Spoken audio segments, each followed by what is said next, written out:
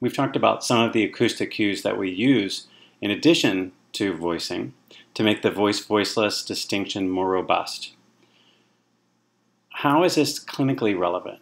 Well, if we return to the speech of um, electrolarynx users, we can see how these acoustic cues can make speech clearer.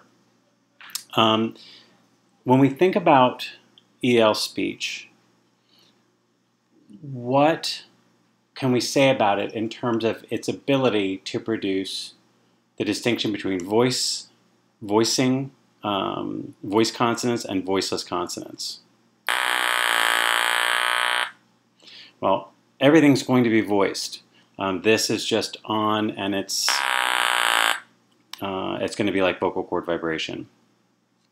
However, we can make use of um, the other acoustic cues like duration um, to make some of this clearer. So we've talked about how um, vowels tend to be longer when a voiced consonant follows.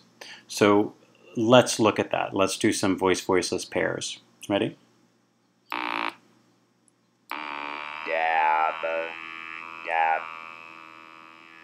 God, God.